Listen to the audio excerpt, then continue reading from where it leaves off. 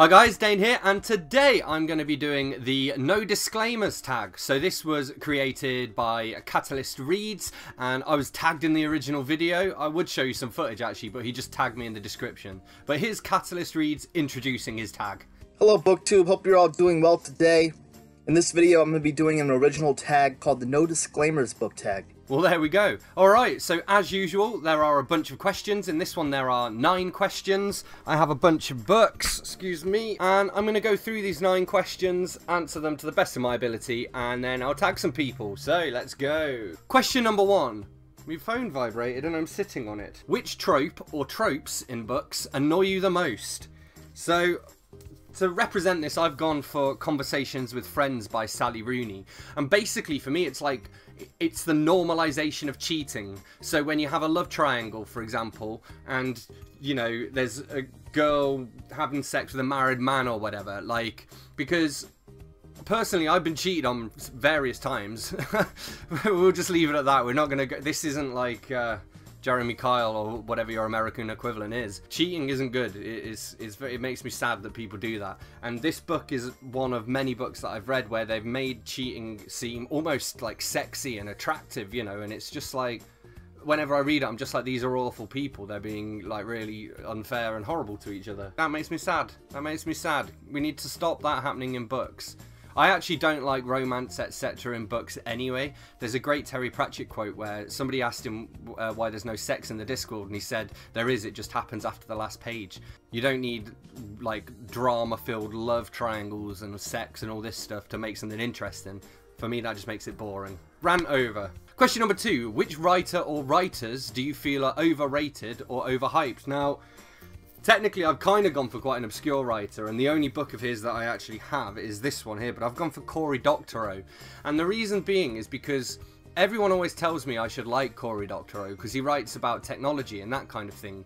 And I kind of write about technology as well, and I find tech and all this kind of stuff quite interesting, but Doctorow's stuff has just never gripped me. Everything that I've read that he's either like written himself or even that he's worked on has just been bad, and I don't understand why like why he even like why anyone even knows his name. He's not that good. Question number three. What are your least favorite books you've read since joining booktube well this is a controversial one but this is a monster calls by patrick ness and i have actually filmed a full review of this book which i haven't got around to sharing yet but in that I explain why I didn't like this. It was just overhyped. The uh, illustrations in this version by Jim Kay were great, and okay, there's a nice story behind the story, but I'm not going to like a book just because the story behind it is better than the book itself, you know. I, I, I just thought it was fairly badly written. It reminded me of R.L. Stine, but like, not as good. Question number four, a terrible ending that ruined an otherwise quality book. Now, I wouldn't say this ruined the book, but I'm going for the Under the Dome by Stephen King. And as you can see, this is a very long book as well. And the ending of it, the ending's just cheap. It's just after all this stuff happens, the ending just is it's almost abrupt in like the last 20 30 pages and king does this quite often in his books actually but all the way along you're kind of under the impression that this dome is impenetrable and you can't change it and all this stuff and then at the end it's basically the same as just someone goes up to a computer and just turns it off or something it's just you know, that's not a spoiler, by the way, because that's not what happened, but it's equivalent to that in terms of, you know, it was as if I'd got to the end and then he just said, and then he woke up and it was a dream. I did still like this book, though. Question number five. Which fictional character or characters do you wish were not killed off? Now, this is an old standby of mine. I'm going for Northern Lights by Philip Pullman, and this is the Golden Compass in North America as well. And uh, he doesn't actually get killed off in this book. He gets killed off a little bit later. But Lee Scoresby, man. Lee Scoresby. If you've read the His Dark Materials trilogy, you know what I'm talking about here. Lee Scoresby. And, and Hester. Was it Hester? His, his bunny rabbit daemon. Oh, the humanity. I think I just compared the death of a fictional character to the Hindenburg disaster, which is a bit, bit extreme.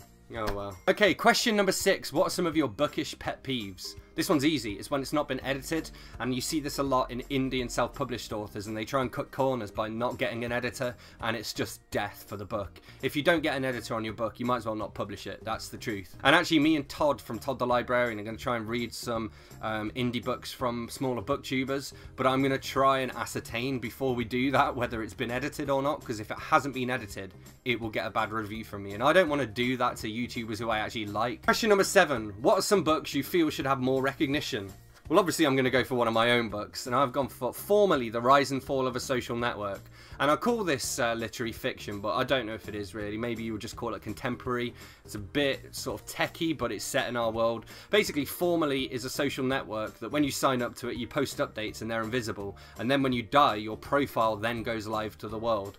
And this follows what happens to the staff of Former.ly and to some of the people who use the site. Question number eight What are your thoughts on censorship and banning books? In my notes for this, I've just written, yeah, no to censorship.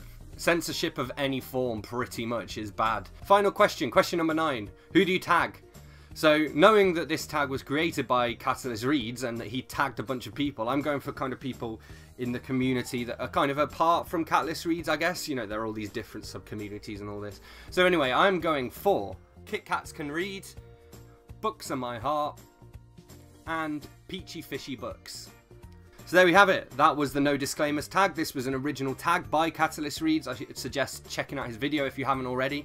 And in the meantime, if you would like to see more bookish videos, please hit subscribe. Let me know with a comment your thoughts on my choices for these questions. And I will see you soon for another bookish video. Thanks a lot. Bye.